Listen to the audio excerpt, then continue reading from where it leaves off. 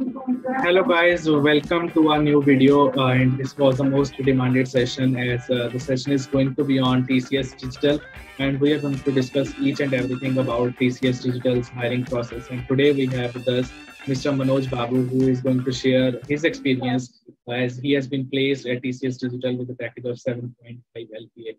So welcome Manoj. Uh, first of all, congratulations uh, from the whole team of Talent Battle on getting with uh, such a big package and digital profile as well. Thank you, sir. Uh, thank you. So let us start, Manoj. Uh, as your as the audience is eager to know about what is all going to happen in TCS uh, with them, and so hopefully you will share your thoughts with us. So first of all, the first question is: Was it an on-campus or off-campus drive? It was an on-campus drive, and TCS will conduct this drive only for the TCS priority colleges present in the our India, in our country. Okay. There will be around 100 priority colleges in India. For these colleges, TCS will conduct the drive. Okay. So as your college lies under the TCS Premium Institutes, so you registered it uh, with the college provided link, right? Yeah, yes. Okay. So what was the first step after uh, registering? Like uh, how was the TCS? Like uh, uh, while registering, you mentioned that you want the digital profile as TCS offers two profile, digital and Ninja. So what was uh, the whole uh, the registration process basically? So we have to first we have to register in the TCS Next Step portal by providing all our details. Then we will get a test link for attempting the test. Basing on the test score only, will be offered either Ninja role or digital role. But there is no chance to select on our side from we are applying for Ninja role or we are applying for digital role. Like that cannot possible. It is only based on the test score they will decide whether to offer the Ninja role or the digital role, and also performance in the interview. Okay, so it's uh, it's fully based on uh, how it, it's fully based on how company decides. Right? Yes, company decides. Okay, so okay, so next question is like uh, how it all started uh, as you explained. So uh, how many rounds were there during your digital profile? A digital profile has only two rounds. One is that uh, our written test, and second round is an interview. But in the interview, we have three panelists: technical member, HR member, and the managerial person. Okay, just two rounds. One with the online assessment, and yeah. one is the interview. Yes, just two rounds. Okay. So starting with the first round, that was an online assessment. Uh, so we shall deep dive into the online assessment now. How many sections were there? First yes, in the online section, we have three rounds. One is verbal, second one is quantitative ability, and third one is advanced coding. Okay. And uh, now let us uh, move ahead with uh, each and every section. So what was the first uh, section? What was asked in the first Yeah, first section is about the verbal ability, verbal questions. Okay. Like uh, they will give some paragraph and we have they will ask a question and we have to find the answer for that question from the paragraph and they will ask some antonyms, synonyms, prepositions, everything related to the English and vocabulary. Okay. So was it uh, in the MCQ format or some different format? It has an MCQ format. Total of 15 questions will be asked in that session and we'll get only 15 minutes time. Okay, one minute for the one particular question yeah one minute for one question and if you skip if you move on to the next question there is no chance to come back to the back to come back to the previous question. Okay. Uh, there was a question to question timing going on or it was a uh, sectional based timing? Yeah no it was section based timing. Okay okay. So uh, 15 minutes was offered for the first uh, verbal section. Yeah yes. Okay. and also we have to remember one point it has a section wise cutoff. To qualify in the test, there is a separate cutoff for each and every section. Though we meet overall criteria, but we have to meet the section-wise cutoff also to be qualified in the written test. Okay, okay. So uh, uh, it is just uh, checking randomly, like uh, once you finish with the verbal, you get the next section only when you clear the verbal test, right? Yeah, no, no, we have to attempt all the sessions, but when, while selecting the finalists, they will select uh, only those candidates who has reached the cutoff in all the sessions. Okay, okay, okay. So moving ahead, ahead uh, to the second section, uh, what was it and how many questions it was? Quanti- it was quantitative ability. There will be 25 questions in that section and 30 minutes time will be given. Okay, 25 questions and uh, 30 minutes to solve that. Yeah, it includes and, all the topics like uh, percentages, uh, data interpretation, HCF and LCM, all, all quantitative topics they will cover. Okay, okay. So, so Yeah, okay. these are the topics. Moving ahead uh, to the third section, what was it? It was advanced coding session. Okay, and uh, what was all asked in this test? In advanced question question in, advanced section we have two coding questions. One is a medium level and the other one is a difficult question. We have to answer those two coding questions. Okay, two coding questions are asked, and the two timings given for the for this section. 50 minutes.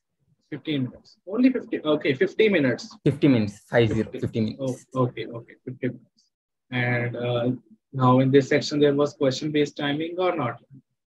Yeah, no question based time. You can uh, switch between any question and uh, within that 50 minutes we have to answer those two coding questions. Okay, okay. And what was the coding questions based on which topics? The coding questions are generally based on arrays, mathematical foundation, and some members may go to trees and uh, graphs. Okay, okay. And what was the Most basically, most basically they were based on arrays only. Okay, okay. And what was the difficulty level uh, for the coding questions? One coding question will be at a medium level, and second coding question will be at the difficult level. Okay, okay. So moving ahead now, like discussing about the overall summarizing the online assessment round. Uh, any important uh, tips and tricks you want to share with us uh, for cracking the first online assessment? Yeah, first we have to keep in a keep in a mind that for every section cutoff is important, and you have to perform very well in every section. Uh, though you have performed very well in overall the test, there may be uh, no chances of selecting because section-wise cutoff is required. That means you have to qualify in verbal section and aptitude session and also in coding session, which means all three sections are very important for us. And coming to the verbal session, it, generally it is not possible to answer the passage question reading complete. And there will be only one question for that passage. In one minute, it is not possible. So we have to be cautious and we have to be very quick at reading skills. Our reading skills should be very high to answer those questions. Okay. And was the whole test time efficient? So these are the two tips from my side, sir. Okay. For verbal ability, it is not sufficient. For quantitative ability and coding, it will be sufficient. Time will be sufficient. Okay. And what was the overall difficulty level of the test? Yeah, overall difficulty of the test was medium, Medium. Okay. medium level difficulty. okay. And uh, was there any negative marking as well, or uh, there was no negative marking? Yeah, there was no negative marking. Okay.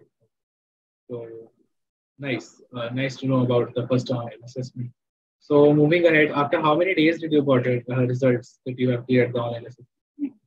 Uh, after 20 days, I got we got a mail from our TPO with a selected list. We not Okay. yet, yet receive any information from the TCS officially. Our TPO has shared the list. These are the Okay. qualified students. And uh, before actually attending the interview, were you told that you have to sit for the digital round and you are like uh, to the students and like this much students have been shortlisted for the Ninja profile? And, or yeah, no, all it was only based on the. It was based on the performance of an interview. Okay, okay. It was uh, based on the interview performance. Okay. Yeah. So moving ahead, after how many days, uh, uh, like, uh, did you know your interview was conducted? Interview was conducted uh, after we received, we received our results after 15 days after completion of exam. And the interview was conducted after 10 days of Okay. getting the results. Okay, ten days after getting. Nearby a month. After a month. Yeah, after a month we can expect our interviews. Okay, okay. So, um, uh, like you mentioned, there was only a single round of interview. So maybe uh, we want to know about what was the duration of that uh, interview. The interview was held for 45 minutes. Okay, and all the three panelists were there: technical, managerial, and HR. Yes, three panelists were present. So, what was the questions asked to you? One by one, we want to know about, like talking about the first the technical, uh, technical questions that were put on. Yeah, technical questions were completely based on the resume that we have submitted to the TCS. And uh, in my resume, I have uh, informed them that I know the machine learning technology. This so they have asked all the questions based on only machine learning. Okay, okay. Uh, so, any questions you remember? Yeah, uh, they asked me what is meant by machine learning, how many types of machine learning are there? Can you explain the uh, difference between classification algorithms and regression algorithms? Some examples of classification algorithms and some examples of regression algorithms. Okay. And did he ask you to write some code as well, like to present your screen? Yeah, no, did not. Yeah, no. Okay. But they asked some questions about Python programming language. Okay. Uh, did he also go through your resume part, like the projects that you were carrying? Were there any questions put on from your projects? Not technical person, managerial person has asked some questions about the project. What are the technologies we have used in our project? Okay. And how your project is useful for the real life or day-to-day activities? Is it using anywhere? Okay. Like these questions they have asked. Okay. For the technical, uh, they just asked you about Python and machine learning. Yeah, it's just Python and machine learning. Okay. Yes, these and, two technologies only I was mentioned in the resume. They asked about. Okay. And were you able to answer all the technical questions?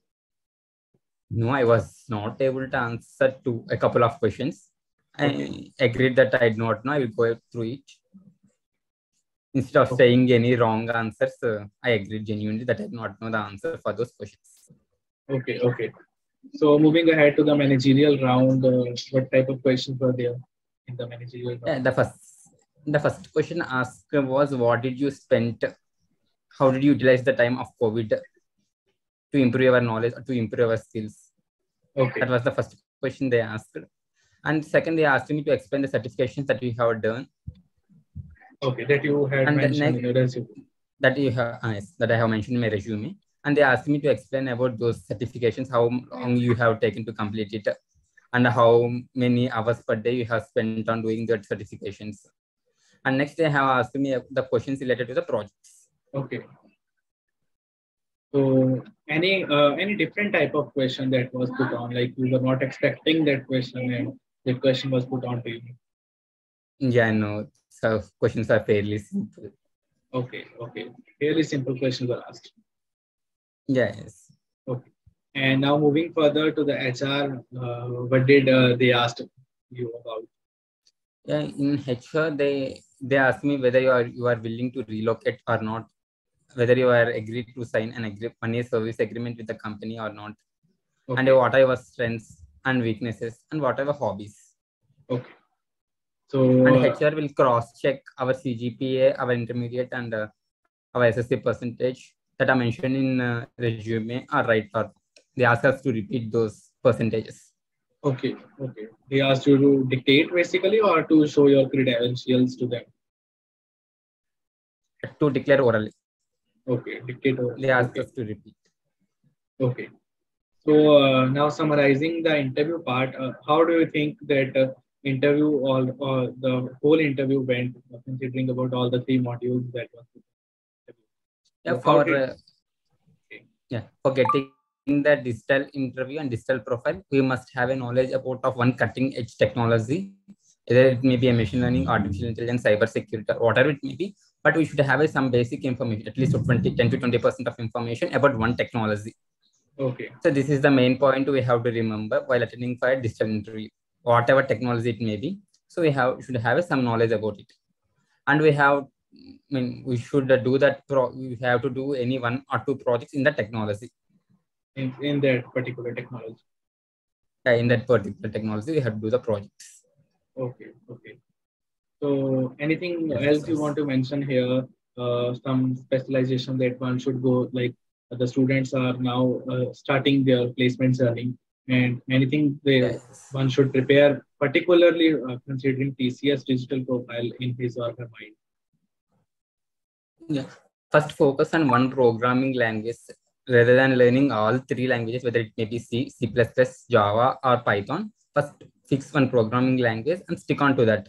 Whatever language you are comfortable, you can learn that language and uh, you can go deep dive into it. You can go learn advanced uh, section of that programming language. And coming to the technology part, after you are familiar with the programming language, then we can learn any one cutting edge technology like uh, full stack web development or uh, machine learning or artificial intelligence or any other one technology is sufficient. And it is better if you have done any certifications in this technology from Coursera, Udemy, Uh, these are providing the certificates. No, even Talent Battle is uh, organizing the full stack development course. It will also be sufficient. So it is necessary to have a knowledge in one technologies. Okay. Okay. So now summarizing the whole hiring process, uh, basically, so what was the actual uh, level of difficulty from actually registering uh, till the end of getting the results? So how would you uh, give it uh, Yeah, from your perspective? yeah, yeah, it was the medium level difficult only that I mentioned before. The results also will be shared very sooner, and offer letter, if you are selected, offer letter also will be released in a week. So there will be no time wasting in the hiring process, and the hiring process will be very quick, as quick as possible. Okay. Okay. So anything else? Uh, any advices you want to mention here at the end uh, to your juniors also are preparing for TCS and want to join as a digital digital role? Yeah, yes, we have to focus. We have to give equal priority to the aptitude session and the coding session. Generally, I find some of my juniors are giving only preference to either coding or either uh, aptitude part, but it Yes. won't happen. There may be a chance of as there is a section-wise cutoff. We have to qualify both the sessions. So equal priority must be given for the coding part and as well as the aptitude part. That is the one most important tip I have had to give in for my juniors. And second important tip is we have to do certifications in any of the one cutting edge technology.